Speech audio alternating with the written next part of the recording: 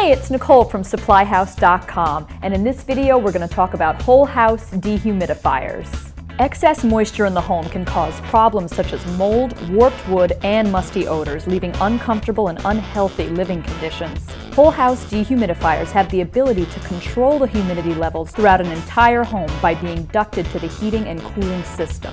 A fan draws the room's warm, humid air over the cold coil of the dehumidifier to condense the moisture. The dry air passes through the hot coil, is warmed, and added back to the airstream. Whole house dehumidifiers require minimal maintenance with no need to empty full buckets of water. They are more energy efficient than portable units and can be controlled with dehumidistats or a variety of indoor air quality controls.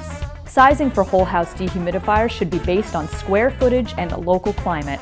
Manufacturers measure the pint per day capacity of dehumidifiers in AHAM or saturation. Saturation rates performance in extreme conditions, while AHAM rates performance in average conditions, which is the most common scenario. For more information, visit the resources at supplyhouse.com or email us with any questions.